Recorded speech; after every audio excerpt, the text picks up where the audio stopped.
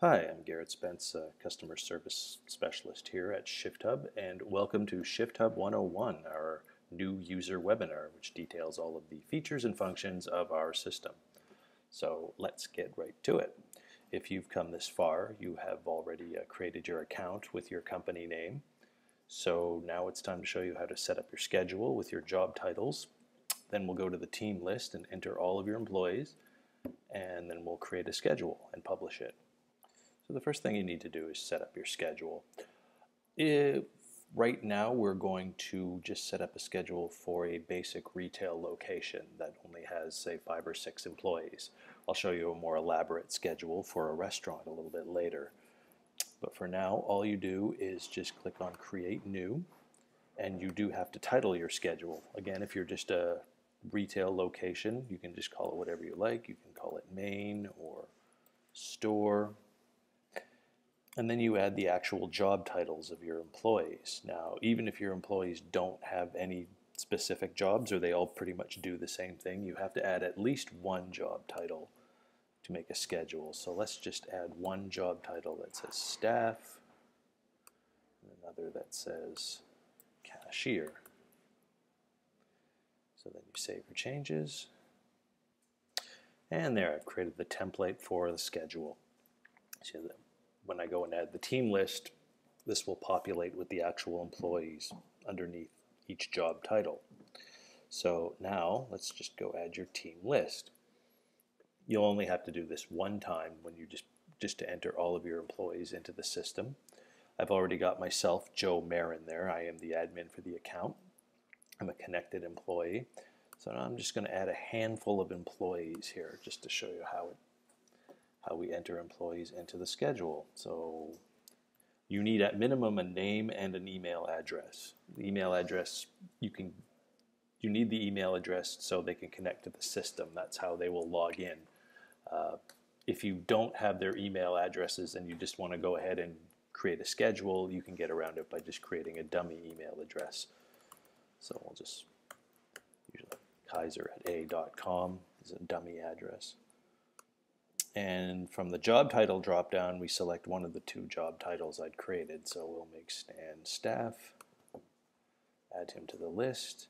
You see he's been added to the team list there. Let's just add a few more.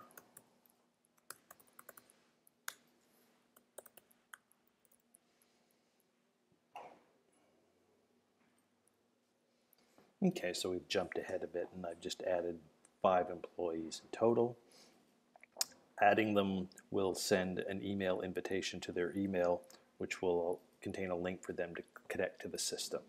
Uh, again, if they you don't have the employee's email address on hand and you just want to go ahead and create a schedule and worry about connecting them later, you can just add dummy email addresses like I've done for all five of these employees here. Uh, I've added, of course, the job titles here in this column the pay rates, if you want to keep track of how much salary you're paying out to each of your employees, you would enter that under the pay rate column. You can modify this information at any time by clicking on this pen icon. You can change the job titles or you can add an additional job title. You can make someone either the staff or the cashier.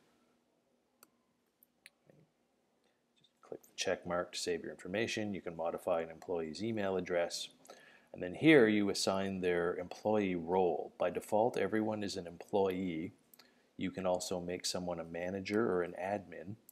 Uh, you are the admin as the creator of the account, which means you're the one who can control the making of the schedule and adding employees to the team list. If you want somebody else to be a manager, that means they also will have that control over the schedule and the team list as well. If they are an employee, if they log into the system, all they'll see is their own shifts on the dashboard, which we're going to look at later, and they'll be able to make shift offers, but they won't be able to modify a schedule and they won't have access to the team list where they'll see pay rate information. So once you have all of your staff entered, you can go right ahead and create a schedule.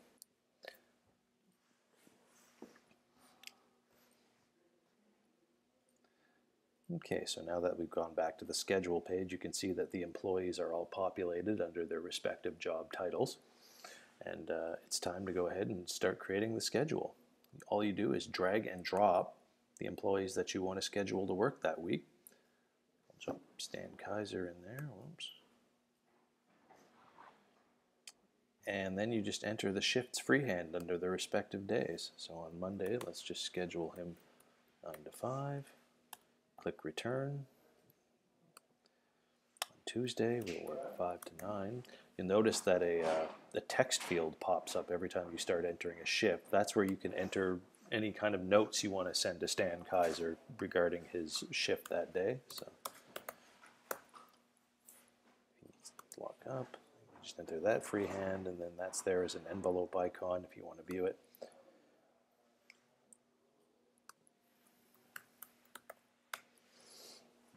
And you just add everyone else accordingly. Drinking.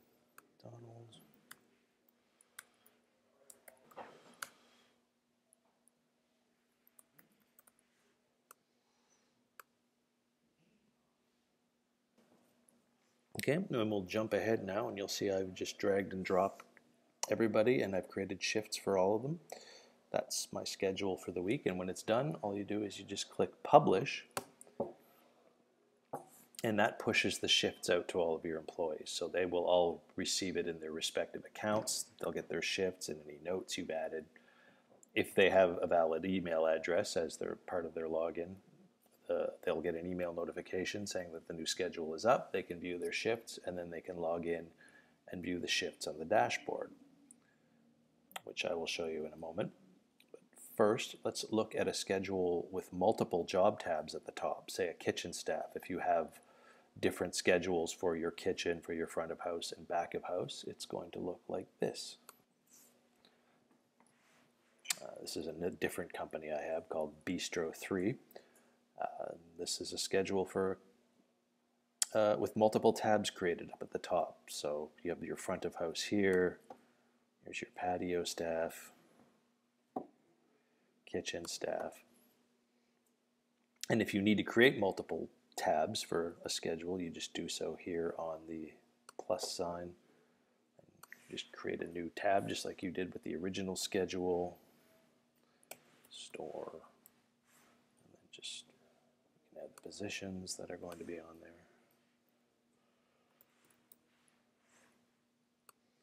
That's just purely an example. I'm just making it up here. And again, once you're finished, once everybody's assigned their shifts, you just click publish this schedule's already published. Publish it. All of the staff will receive their shifts in their email or in their account if they log in. If you ever need to go back and make changes to a schedule once it's published, you can do that at any time. You just have to unpublish it. If you want to assign somebody a different shift, just go make the changes and the modifications you need to make and then just publish it again and it will send out the modified schedule to all of your employees. So when you publish a schedule, this is what it looks like in your employee's account. So when an employee logs in, the first thing that he sees or she sees is their dashboard page. Uh, here's all their shifts for the week in this widget here on the right. If they want to jump ahead and see what it looks like in a calendar view, they can. They can also click on My Shifts here in the left-hand side of the of the screen, and this will bring up a schedule view for the week or the month. So there's everything that's everywhere that Steve Jones is working this week. Now, if he clicks directly on the shift, that will open up a widget where he'll see the other employees they're working with that day. If you're keeping track of salary, the total payroll for the day will be displayed. And most importantly, if they need to exchange their shift, this is where they would do it. They would click on My Shifts, bring up this view of the schedule. There's a button here that says Offer Shift if they want to exchange it to anyone. So it's confirming that he's offering that shift up. And then you have the option of offering it to the entire staff and whoever wants to can grab it. Or if you want to send it to a specific employee that has the same job title as you, you can do so as well. We'll just offer it up to everyone, send.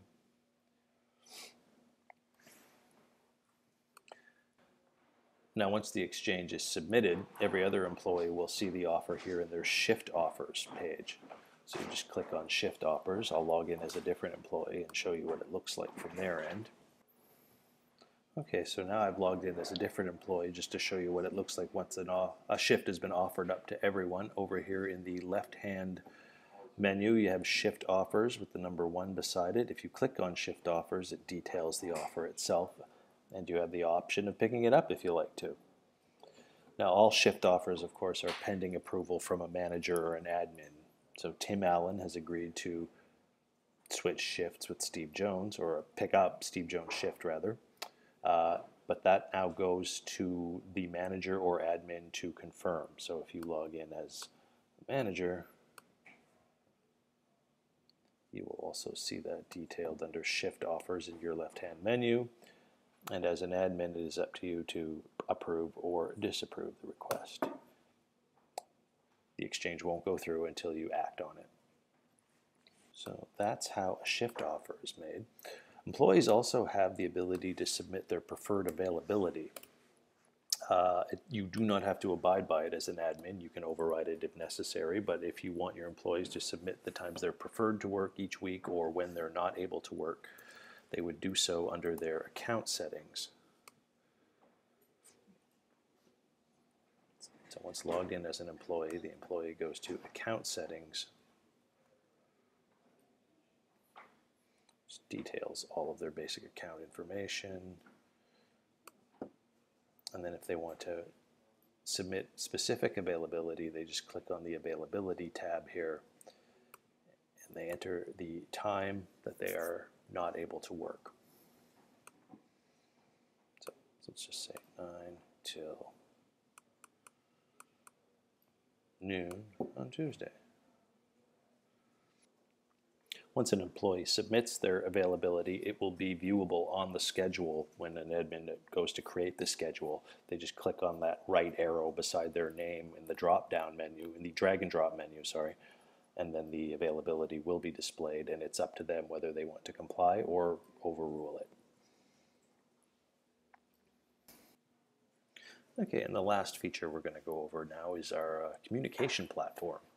Features a message board for messaging to all employees, which they can comment on, somewhat similar to a Facebook page, or you can send private messaging. If you want to post to the message board, very simple.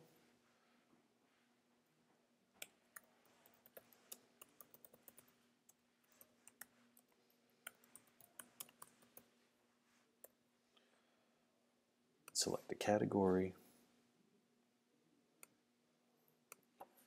Send now and the message posts to the message board. And like I said, others can comment on it. You can delete it if you like. Uh, if you have something of relative importance that you want to make sure everybody reads, you can highlight the must read checkbox here. So we'll just add that again with the must read.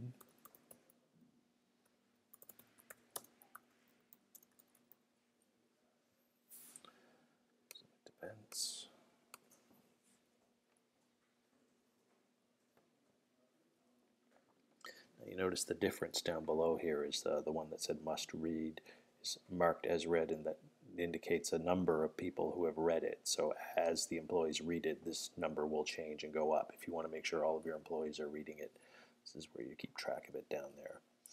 And if you have private messaging, both the admin and the employees can do so by clicking on messages in the left side menu Um, it's just like email in here. If you have specific requests, if you want a specific time off request or any kind of private communication you want, just click on new message, type in the recipient's name,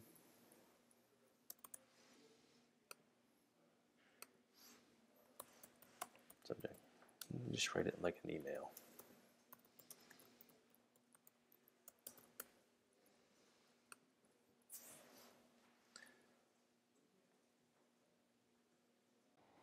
Okay, and then this last thing I want to show you is a new product we're pretty excited about. It's the company wiki.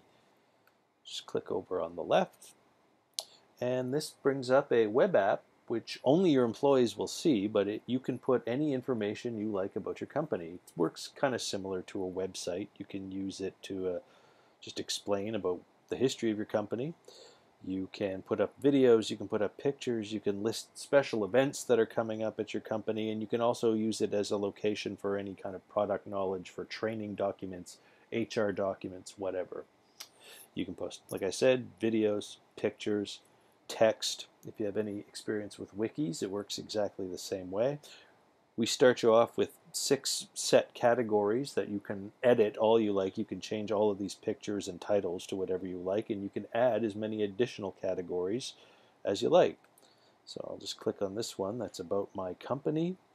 Like I said, you can edit this picture here to be whatever you like, and you can edit the title just by clicking on edit and right here is where you would change the picture if you wanted to. Just click on choose file and just to show you how it works, I'll change about my company to about us and publish.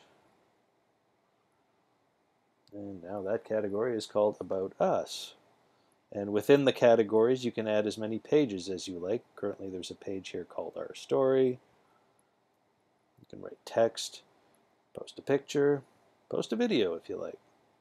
And you can edit or add a new page or edit the text right here. And like I said, it works like a wiki. You have uh, you can choose fonts, you choose the style of the text, and you would uh, embed the photos and the videos right there on the page. And then just click publish when you're done. And uh, that concludes our new user webinar. So thank all of you for signing up for Shift Hub. Have fun, and if you have any questions at all, please contact us at support at shifthub.com.